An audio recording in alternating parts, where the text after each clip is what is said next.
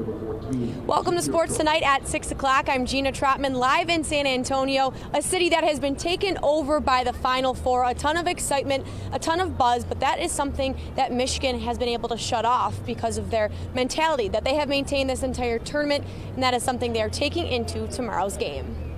That's going around the outside world, but we just got to stay focused and just play our game and do, let our play do the talking. It's kind of the same old story for you guys. You guys don't pay attention to that stuff, and you know your biggest game yet, and probably the biggest noise that you guys are still focused on yourself. Yeah, definitely. I think that I th- that starts with coach's staff, Coach B. Um, he always he always tells us that. Coach Beilein also said he isn't sensing his guys being overly antsy, and that they are preparing well. You know, we'll we'll focus on ourselves and control what we can control, and uh, you know, just just look at it that way. It's that same do more, say less mentality that continues to carry over each round.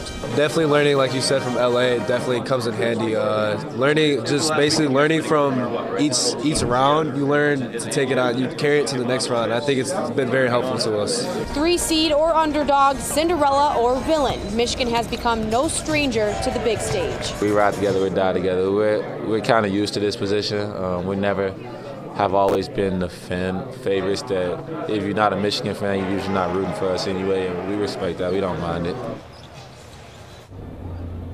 Now, going off of that mentality that Matthews mentioned, goes into the idea that they have the chance to knock off Loyola, a team that the nation is considering a Cinderella. However, they tell me they do not consider this team a Cinderella. I'll tell you why, plus how they feel about being the possible villain. That's coming up tonight during sports on Fox 66 at 10 o'clock, and then again right here at 11. For now, reporting from San Antonio, I'm Jeanna Trotman, NBC 25 News. We'll be right back.